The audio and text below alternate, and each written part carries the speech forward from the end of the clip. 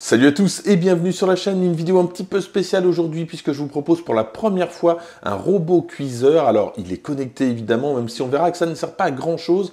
Euh, ce robot c'est le Mambo 1290 Habana de la marque Secotech. On va voir ça dans cette vidéo, on va voir ce qu'il propose. Ça coûte 450 euros, c'est franchement pas très cher. Mais avant tout, avant de commencer il manque quand même quelque chose. Le tablier évidemment, tremble Hollywood, tremble. Alors ça fait à peu près un mois et demi hein, que je teste ce produit, j'ai fait des entrées, des desserts, des poissons, des plats, enfin j'ai fait un petit peu de tout, je vais vous donner mon avis euh, sur la facilité à faire ces, recettes, euh, et puis à l'utilisation, et puis je vais vous donner aussi mon avis sur la qualité du, produit. On va donc commencer déjà par là, on va voir ce que propose en tout cas euh, ces, ces pour ce prix-là. Alors on a déjà donc le, principal, hein, le, 1290 qui se trouve juste ici avec un écran TFT de 7 pouces et on a deux bols. Alors ici on n'en voit qu'un. Euh, on a donc ici le, couvercle. J'ai deux bols. Le premier c'est un bol en inox, alors qui se trouve juste ici. Je vais prendre avec une lame donc qui va servir à plein de trucs, notamment trancher, euh, hacher, bon, tout ce que vous voulez, ça marche bien, c'est assez efficace. Et puis on a un autre bol donc qui se trouve juste ici, c'est un bol en céramique et on a euh, la, cuillère Mambo Mix qui se trouve à l'intérieur et ça c'est vraiment top. Tout à l'heure euh, je vous ferai une ratatouille, j'ai trouvé ça génial, super facile avec la, avec la cuillère qui tourne en permanence, donc pas besoin de surveiller ou de touiller, ça va le faire automatiquement. À propos des autres accessoires, donc on a ici une spatule qui va permettre de racler dans, les différents Ici, on a ce petit panier pour la cuisson vapeur, et oui. Et puis, à propos de cuisson vapeur, on a justement ça, donc deux paniers pour la vapeur, donc euh, ça va pouvoir servir par exemple pour faire des poissons, des viandes, évidemment des légumes. Et puis donc, donc cet accessoire euh, qui, s'appelle le papillon, qui va permettre d'émulsifier, ça peut être pratique pour faire une mayonnaise ou tout simplement des blancs en neige. Alors j'ai voulu commencer par une mousse de fraise, j'ai vu qu'il y avait ça dans, les recettes, ça semblait assez simple. Et d'ailleurs, euh, bah, pour monter le blanc-neige, c'est relativement simple. Et regardez, ça marche bien. Euh, alors bon, mon résultat n'était pas génial en fait avec ma mousse de fraise, mais en tout cas j'ai pu euh, m'en servir pour faire une mousse au chocolat. J'ai voulu ensuite tenter des boulettes à la tomate, et c'était l'une des recettes, j'ai fait n'importe quoi, j'ai mélangé le riz, enfin je sais pas ce que j'ai fait. et finalement, je me suis retrouvé avec une bouillie de tomate, mais finalement, bah, c'était bon. Donc bah, je, vous recommande, mais je ne saurais même pas le refaire. J'ai tenté également des pains au lait. Bon, j'ai pas mis assez de sel, ça se sentait, mais finalement, ça se mangeait aussi. Alors on va tenter euh, justement une recette, donc je vais dans la partie recette et je vais bah, essayer le saumon. Donc voilà comment ça se présente. Donc ici j'ai tous les ingrédients et ensuite j'ai plus qu'à continuer pour me laisser guider. Ici donc ça m'indique que je dois mettre les mini carottes mais également un demi-litre d'eau. Donc pour peser c'est tout simple, je vais aller sur la balance ici. Voilà.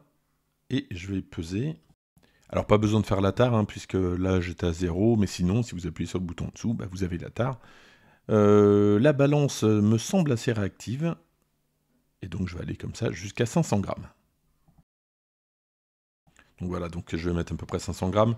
Euh, et ça me demandait de mettre les mini carottes. Alors moi j'ai mis des, j'avais pas de mini carottes, donc j'ai mis des carottes un peu plus grosses. L'inconvénient évidemment, c'est que euh, comme c'est pas comme un cookie il n'y a, pas la même pression. Vous voyez, mes, mes carottes c'est pas des mini carottes, hein.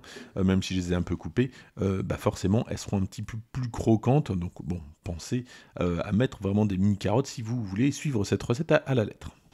Ensuite, on continue donc euh, les étapes. On passe donc à l'étape suivante et ça va nous demander de rajouter les asperges dans le cuit vapeur. Alors avant de faire ça, je vais fermer le bol. Alors c'est pas très compliqué.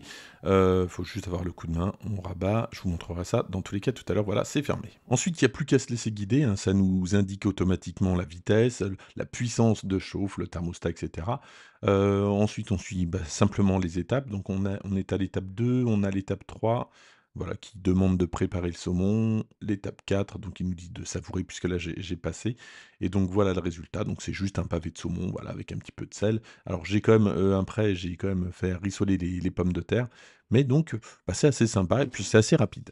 Autre exemple de recette, mais alors celle-ci manuelle pour que vous voyez un peu les deux. Donc euh, c'est une sorte de ratatouille. Hein. J'ai pris des aubergines, des courgettes, des poivrons sur la gauche et puis un petit peu d'échalote et de la tomate sur la droite. Ensuite, on va rajouter de l'huile d'olive. Alors, vous voyez, hein, j'utilise cette fois-ci le bol en céramique et la cuillère Mambo Mix va tourner euh, donc pendant 20-25 minutes à peu près. Et puis après, donc je mets tous euh, mes, légumes à l'intérieur comme ça en vrac, et puis il va se débrouiller tout seul. Donc là, je vais dans le second onglet, c'est l'onglet manuel. Donc ici, je vais pouvoir gérer euh, la puissance, la rapidité et la température et le thermostat. Alors pour le test en vitesse, je vais passer à 1, la puissance de température, je vais aller au maximum, c'est-à-dire 120 degrés, et puis je vais laisser le thermostat automatiquement. Donc voilà, donc ça 120. La montée en puissance en température est de 10. Parfait. Alors donc c'est parti depuis quelques minutes. Ça sent super bon. Ah, je vais refermer. Et puis donc je l'ai laissé tourner pendant 25 minutes. Voilà donc le résultat euh, de, cette ratatouille. Alors moi j'adore les ratatouilles. Euh, bon après j'ai rajouté du sel, du poivre. Mais franchement c'était super bon. Donc en 25 minutes vous avez votre petite ratatouille euh, de prête. J'ai adoré. Que demander de plus? C'est génial. Alors j'ai pas pu vraiment le comparer avec un Thermomix, hein, j'en ai pas, mais on a quand même des, produits qui, ressemblent. Alors les, puristes vont me dire qu'il n'y a rien à voir, mais en tout cas, je trouve que pour le prix, c'est quand même pas mal par rapport euh, aux plus de 1000 euros pour un Thermomix. Alors euh, ici, on a donc le bol en céramique que j'ai laissé, on va voir comment ça se referme, etc. Euh, la contenance, c'est 2 litres, donc c'est largement suffisant. Et puis sur ce côté-ci, donc on a accès aux recettes, on a accès ensuite à toutes les préparations qu'on a faites. Et puis ici, donc j'ai mis tous mes favoris. Voilà, rien de très compliqué en tout cas. Alors l'écran, euh, bon, répond correctement, mais sans plus. Hein. Il y a parfois quelques accros.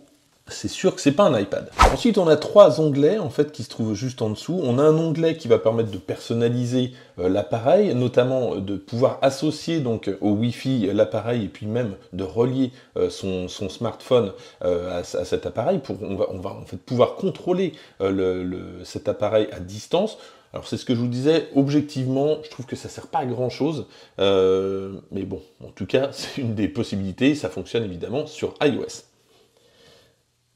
Et puis, donc ici, on a euh, donc toute une partie manuelle. Et ça, c'est bien. Euh, personnellement, c'est ce dont je me, sers le plus souvent. Donc, on a trois options. La première, ça va permettre de euh, modifier la vitesse à laquelle va tourner donc, la cuillère ou tout simplement le, le, hachoir.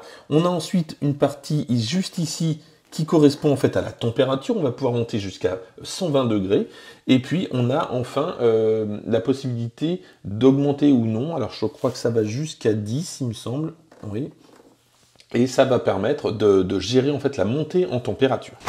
Pour lancer la préparation, donc une fois qu'on a mis euh, bah, ce qu'il fallait, on met le couvercle, on le glisse comme ceci, on rabat ce petit cran là et celui-là. Voilà, donc là c'est bon.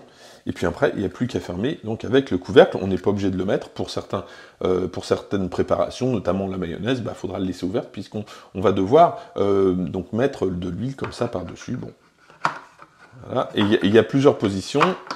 Là, il est juste posé et on peut le fermer comme ceci. Donc ici, on a des milliers de recettes triées par catégorie.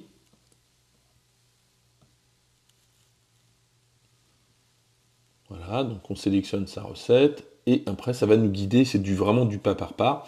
Donc là, ça nous donne déjà les ingrédients et puis après, lorsqu'on va lancer la recette, en fait, ça va nous dire petit à petit, donc du pas par pas, euh, comment faire pour réussir cette recette.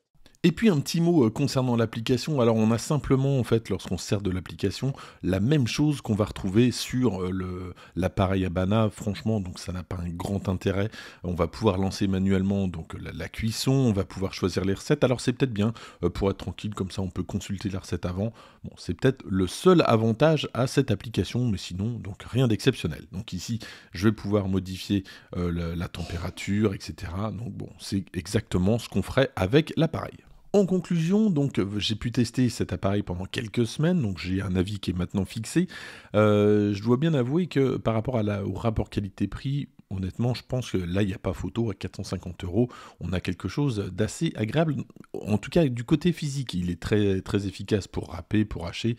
Euh, tout ça, ça marche très bien. Là où j'ai quand même un petit bémol, c'est sur la partie logicielle, alors pas en tant qu'ergonomie, hein, euh, l'appareil très ergonomique, c'est euh, la partie recette. Alors il y a pas mal de recettes espagnoles, normal, hein, l'entreprise est une entreprise espagnole, il y a pas mal de, recettes françaises, c'est pas le problème, c'est souvent le pas à pas, des fois il manque des trucs, euh, des fois il y a des problèmes de traduction.